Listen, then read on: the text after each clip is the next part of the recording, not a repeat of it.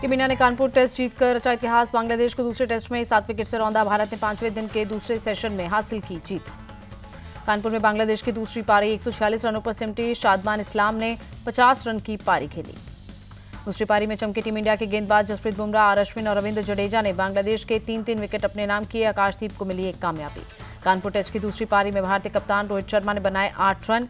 मेहदी हसन मिराज ने हासिल किया रोहित का विकेट। कानपुर में रोहित ने दोनों पारी में बनाए इकतीस रन। भारतीय बल्लेबाज शुभमन गिल तेज़ी से रन बनाने के चक्कर में हुए आउट। मेहदी हसन मिराज ने छह रन पर किया शुभमन गिल को आउट। पहली पारी में गिल ने बनाए थे उनतालीस रन। बांग्लादेश के खिलाफ दो मैचों की सीरीज़ में भारतीय गेंदबाजों का रहा बोलबाला। दो मैचों की चार पारियों में बुमराह और आर अश्विन ने हासिल किए ग्यारह विकेट।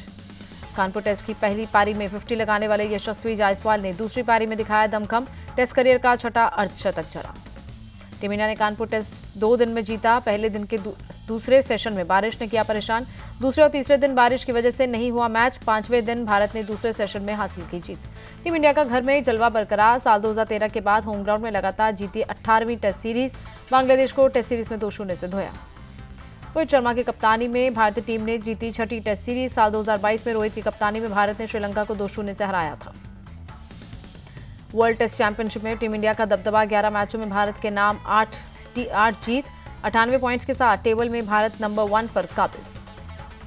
टेस्ट सीरीज़ पर दो शून्य से कब्जा करने के बाद भारतीय टीम टी ट्वेंटी सीरीज़ के लिए तैयार। छह अक्टूबर को बांग्लादेश के खिलाफ दिल्ली में खेला जाएगा टी ट्वेंटी सीरीज़ का पहला मैच कानपुर टेस्ट की दोनों पारियों में अर्धशतक लगाने वाले यशस्वी जायसवाल को मिला मैन ऑफ़ द मैच का खिताब।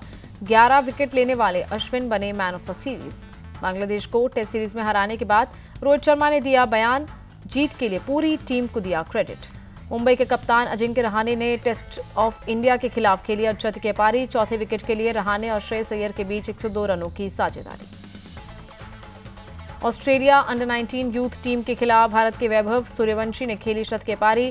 पहले अनऑफिशियल टेस्ट में वैभव ने बनाए बासठ गेंद पर 104 रन। ऑस्ट्रेलिया यूथ टीम के गेंदबाज विश्व राम कुमार ने झटके चार विकेट। थॉमस ब्राउन ने लिए तीन विकेट। एडिसन श्रीरीफ ने भारत के दो विकेट किए अपने नाम। दो मैचों की टी सीरीज़ एक एक से बराबर होने के बाद वनडे सीरीज़ के लिए दक्षिण अफ्रीका और आयरलैंड तैयार। अबुधाबी में दो अक्टूबर को खेला जाएगा पहला मुकाबला।